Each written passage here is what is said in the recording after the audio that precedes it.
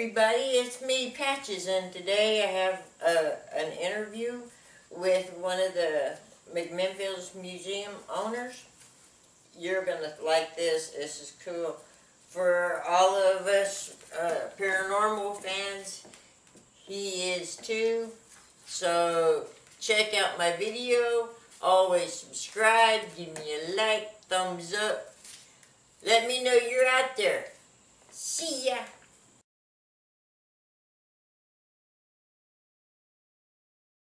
Love history more than anything. Okay. Where did you move from McMinnville? We to just McMinnville from? we just came back to from Arizona, From Phoenix. Arizona. Yeah, I got real sweet. You said that this original building was built when? In the late 1800s. In the late 1800s, and it was an original was- bar. It was uh, uh, one of the earliest saloons of the town when it was built. Oh, cool. So, uh, do you have any of the stuff from that era here? In you know some of the saloon stuff, or No, not really. We have some pictures of the man uh, upstairs who built it. Um, we don't have them on display here, but uh, a woman who was his grandniece came to visit us a few years ago and brought us some photographs of him. We didn't even know what the man looked like who built it. Oh well, that is awesome. A man with a long white beard. He was a very interesting looking character who built the building. Oh wow! Uh, next time I come down, you got to show me some of those Yeah, pictures. sure. Those are cool. Sure. Like I, I'm always telling people, you can't learn about the future unless you learn about your past. No, no, we're all about, well, we're all about the present and future, but we're about the past here as well. Yeah, and you don't know where you're messing up unless you learn from your No, past. Absolutely. That's that's one of the things I thought the Civil War taught us, or should have taught us, that uh, yeah, you can't. We're brothers don't need to be fighting, you know. And most of the time they were relatives. That stupid war. That's Yeah. a tragic war. And all the people that died from that was just Can you imagine the destruction and yeah. I do, uh, like I said, I sometimes I do a little bit of haunted stuff, and one of the people suggested walking down around town and stuff with, and see if I could catch any EVPs, you know, the voice recognition stuff. So I've been, you know, every time we come across someplace, you know, I'll stop and and do something. I, I personally haven't come in contact with anything like that, but you know, when you got that much suffering and death, it has to leave something behind. oh yes, yes. So, We don't, uh, we haven't come in contact with any of that kind of stuff around here yet. This building is a very benign building. It, it, it has no bad karma in it that we have felt since we've been here. We like the building. Uh, uh, uh, some buildings, though, you can feel when you go into them. I'm a person who's very sensitive to, to the feelings of buildings. yeah. And so when I go into a building, an old building, uh, my friend Chris that just left going to the library, Uh huh. his family has an old um, uh, log house out in the Shady Rest community. Um, let's see, what was I saying? Oh yes, he, they have that house out in the Shady Rest community. It's been abandoned now for thirty something years. When he took me out there for the first time, mm. it's it's set right on the Collins River out there in this beautiful, serene place. And I went in the house. I felt I felt something very negative in the house. Oh wow. And I, I could hardly stay in the rooms. And come to find out that there were three suicides in that house. wow. People drinking carbolic acid, of all things, to kill themselves. Can you imagine what a Oh. horrible death that would have been? Oh man, that would dissolve everything as it goes down. In this house. oh. And so I haven't been back in the house since. oh no. I'll tell you what. I took a picture of my neighbor's house because when we lived here before, I knew the little elderly lady that lived in the house and her daughter, and both of them died in the house. And since we was buying the next door neighbors, the next the house next to it, which was the old store, I was taking pictures around. I got a picture of the back of the house. You can see two faces of a little elderly woman, you know, with a little bun on uh, and and a little frail. In the photograph that you took? Yep, and you see a little gentleman, a little elderly gentleman. It looks like he doesn't have his teeth in, chewing on Re- something. really? Uh huh. One sitting in one window and one sitting in the other. And I showed the neighbor, and the neighbor's like, "Oh my God, oh my God." And I said, "Eh, "I didn't mean to scare you." I said, "They look happy when you look at them. I mean, the faces they, they look like they're smiling. So I wouldn't be." You know, afraid if they unless they looked like they was enraged, I wouldn't look like be afraid. You are the only other person here that I've heard that has gotten ghosts in their photographs. Chris has taken several photographs with ghosts in them, and sometimes he gets orbs, perfectly round white spirit orbs. I got one that, and my grandfather's not here, so I know it. Not my grandfather. At one of the graveyards, there's a graveyard that's got beautiful statues and stuff in it. We love going down there because filming the statues and whatnot. I have a picture that looks like an elderly man with a hat, holding his hands, and like this over one of the graves. And when I checked the grave, it was an elderly woman, and her husband was buried beside her, and she was dead before he did. Oh my goodness. So yeah, I actually got Oh. him looking down over the thing. Another picture I got, I'm afraid to look at it because it looks like two witches cackling over a grave. In that same cemetery? in the same cemetery. Is that a local cemetery? yeah, it's a local cemetery. You know the one that has the big ball and and a cube and it's right down The here. one down off of uh, yeah, Depot Bottom? yeah, Oh, yes. yeah, and uh, and it, the, it looks like two witches cackling over a grave. And I mean that that photograph just scared the snot out of me. I deleted it. It's on my video, but I deleted it because it just scared the snot out of That's me. scary. And but the other one looked like my grandfather, bending, you know, holding like this over the grave. And but my grandfather's not here. And then when I went and looked at the grave, the lady had died before her husband, and apparently I caught a residual of the gentleman praying over his oh, wife's my grave. goodness. Wow. So yeah. I, you we- should definitely pursue those things because you you sound like you're very uh, in Passionate. tune with it all. yeah, I am. My husband is frightened. He's frightened. It can be frightening. Yeah, and I told him, I says, honestly, I said, I've been in tune since I was a kid. I got an auntie that she can't look at a glass of water without seeing whatever your future is. Really? Uh huh. And I think it's inherited. I don't work on it because it scares people. Yeah. So, you know, but my I am in tune, You certainly are. and uh, I, I I try not to scare folks, and, and most folks are like, eh, so I try not to talk about it unless you a lot of tell. people, of course, would be very apprehensive and skeptical and wouldn't believe that you were even telling the truth. But people like me do believe what you're saying because I know from experience about things like that. Now I did catch one EVP, and What is an EVP? an EVP is a voice sound that Yeah, okay. comes out of nowhere. Okay. Okay, it's either a, a raspy voice or uh, a heavy breathing, uh, a sound that shouldn't be there. You got it in a house? Uh, no, I was, uh, you know where uh, Red Road is? You know where the lumber yard is? You know where they moved the graveyard? I was over there where the child section was. And I was talking about how the last time I had here was here, they hadn't moved all the children's graves yet, and there was vandals going over there and tearing them up, and I was glad they was moving the graves. So I broke out my recorder and decided to do an EVP. And over my back, I, you can hear on the EVP. You hear it twice, and then you don't hear it no more. I asked, Are you happy that they moved you? And you hear, and you hear it twice.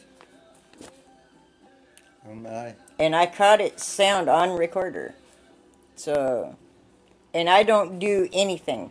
I don't run my recordings through anything. According to what the the the ghost people that hunt ghosts say, that if you can hear it with your ear, you should be able to hear it with the recorder. Yes, of course. And they said sometimes that will pick up sounds that you can't hear with mm-hmm. your ear. Mm-hmm.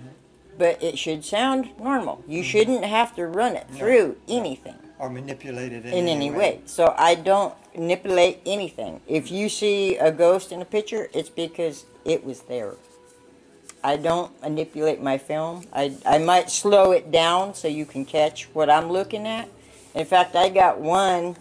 My husband took me to this lake or a stream, Indian stream. Uh, apparently, they had massacred massacred Indians that lived on that property, and uh, we were looking around, and I was taking video.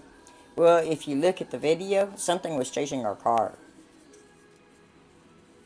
Mm-hmm. Scary is not. Something was chasing our car. And I, Was that around here? it was on a, a stream, and I can't remember the name of In the, the area stream. In here? in the area here, it feeds this lake, this river. It's the beginning of it. It feeds this river. It comes out a little hole in the cave, and then swerves down. And uh, yeah, if you if you want to check it out on my YouTube channel, it says I think I got a ghost on video. That's what I put on the name of the video. I think I got a ghost on video, and I'm talking about We'll check it. I'll have Chris check it. He does the computer work for us here. Okay. I'll have him check your your uh, Facebook page, Uh, that's uh, YouTube. YouTube. I mean. Yeah, and uh, you'll see it on there, slicker and snot. You can't tell what it is. It at first I thought that's got to be a log in a moving car, you know. And then I got the I slowed it down, and the thing has a face and arms that disappear. Okay. Yeah, That's this scary. Yeah, and I, I told Tim, I said I didn't feel good when we were there, and so we didn't stay. But I did the video and told Tim, I said we got to go. I don't feel good. Something's not right here, and that's what's that's why he gets scary around when I do. Absolutely. It, it it can be scary. So he says, if you don't mind, I'll stay home when you do those, and I'll help you with the others. So, yeah, I think it's fascinating to tell you the truth. I'm very fascinated by it yeah. Because it opens up another communicating oh yeah. channel. I mean, Oh, the yeah. world is full of all kinds of spirit and items that we don't normally hear and see with our naked eyes and hear with our ears that some people can actually tap into. Yeah. Uh, I ain't like my auntie. Uh, my auntie was like, she couldn't walk into a space without tapping into everything. But then auntie trained herself to do it. She trained herself to do it. Uh-huh. They say that anyone can do it, but I don't think anyone could do it. I think you have to have a penchant for it. Yeah, I think it has to be it- a gift. Yeah, I think And so. and then you got to exercise it. Yeah. And auntie exercised it from the time she was a kid. She was an only child, so she had nothing but her what my uncle and auntie called was her visible friends. That's all she Absolutely, had. Absolutely. So that's all she had. And so she exercised it. When I was growing up, I had my mom and dad leading me all over the place, and they were both past. My mo- father was a pastor, and to him, that's the demon's work. And Yes.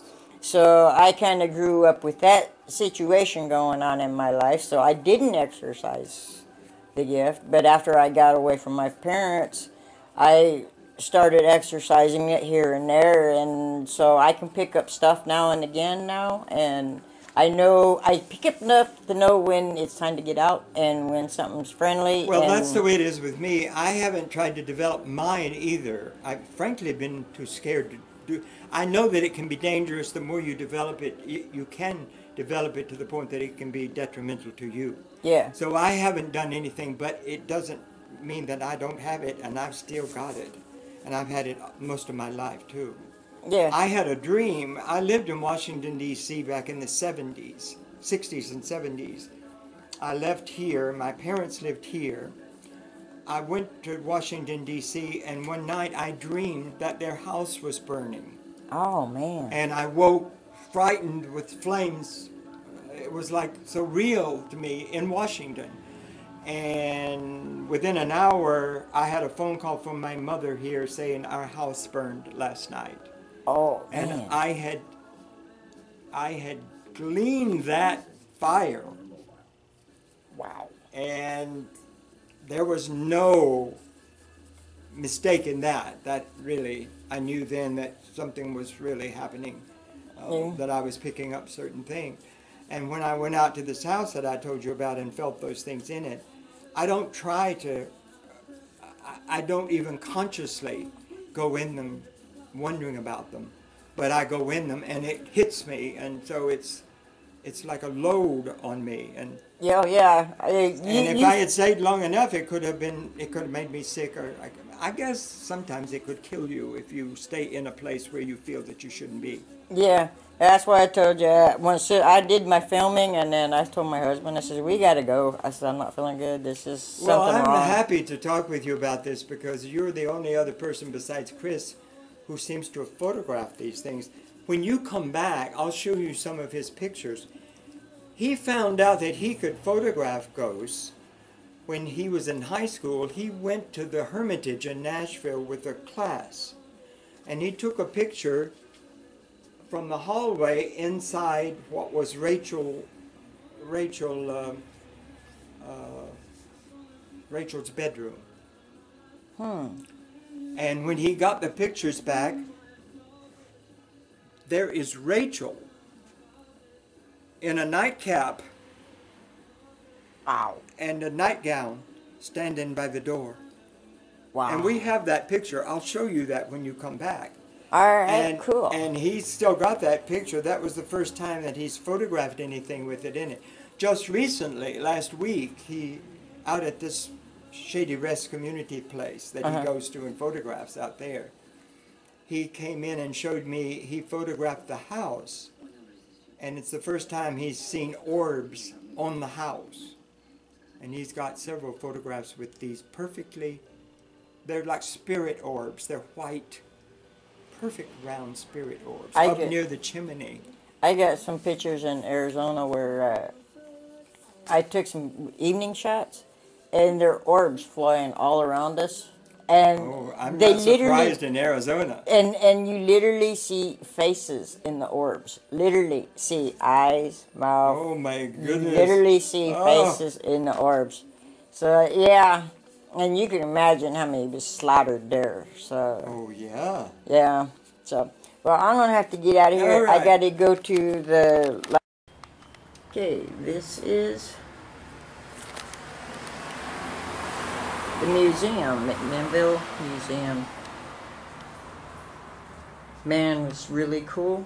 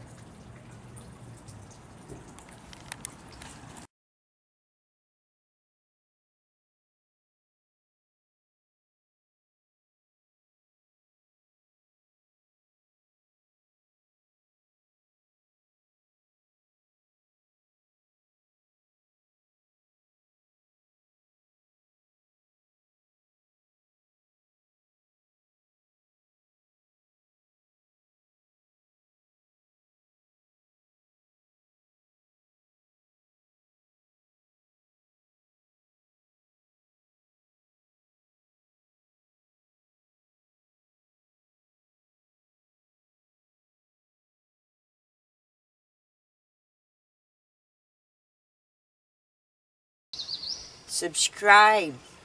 Give me a like. Give me a comment. These things are very important to me. Thank you.